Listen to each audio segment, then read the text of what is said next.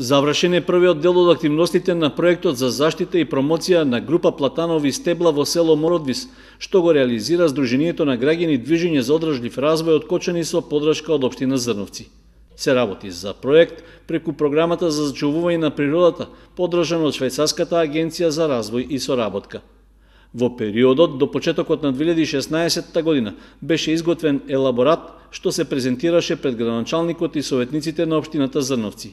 Документот беше прифатен и одобрен, а примерок од него, заедно со одлуката од Советот, беа поднесени до Министерството за животна средина на Република Македонија, со барање за репрогласување на платановите стебла во Мородвис како природна редкост.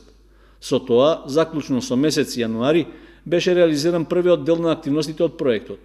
По добивањето на решението од Министерството дека се прифаќа стеблата да се регистрираат како природна редкост, ќе продолжат активностите од вториот дел на проектот – При тоа ќе се направат итни конзерваторски мерки за да се заштитат дрвата од пропагање. Освен тоа, ќе се изработат и едукативни материјали, односно брошури и флаери за промовирање на значењето на платановите стебла. Ке се постават едукативни табли и патокази, а планирано е да се одржи и едукативно предавање за значењето на стеблата. Планирано е активностите да се реализираат до април оваа година. Целата реализација на проектот е во координација помеѓу Сдруженијето на граѓани Движење за одржлив развој, Обштината Зрновци и проектот за заштита на природата во Македонија. Комплетирањето на активностите треба да придонесе за заштита на уште една природна редкост во државата, како и промовирање на природните убавини на пошироката јавност.